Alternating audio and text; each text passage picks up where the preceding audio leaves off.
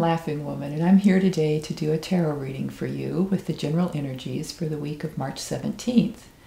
This will give you an idea how to make it a truly delightful week in your life.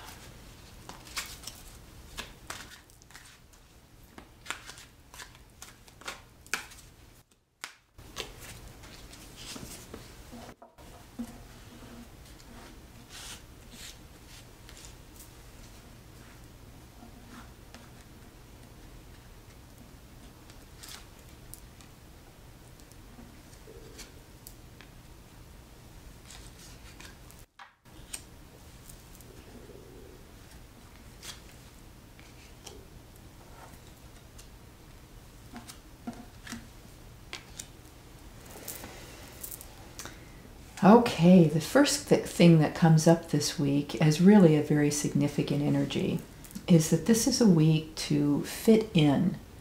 Um, you don't have to make yourself be something you're not, but in the places in your life where you can just go along with the way other people do things, go ahead and do that this week. It'll be good for you, it'll be good for your relationships, it'll be very effective in getting the things done that you want to get done this week. This is also a week where balance is very important in your life. Make sure that you're not going overboard in any direction in your life this week. We're kind of in the beginning of the springtime energy, which is a time when things come into balance anyway. So work with the energies of the earth this week and stay in balance yourself in the things that you're doing in your life. Now, this is also a week for celebration. And celebrating and being in balance don't have to be contradictory to one another. Make sure that sometime this week you find time to just be ecstatic about something that you really like about your life or that's going on in the moment. And share that enjoyment with somebody else. Make sure that you light someone else's fire with your own excitement this week. Pay attention to the impact that you're having on the world around you.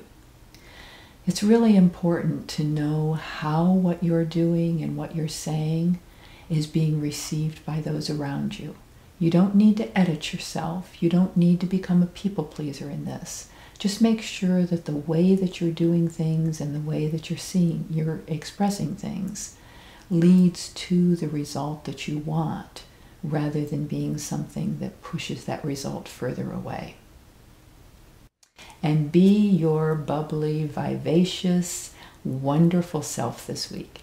This is a time to really let all that is amazing and magnificent about you shine through at least a few times. You deserve that, and so do the people around you. Overall, for the week, what I'm seeing is that if you'll go with the flow a little bit, you'll get a lot further. It'll take you a lot less effort and you'll really have an enjoyable week. Leave the innovation, the contradiction, the doing things in ways that teach and push people, leave that to another time.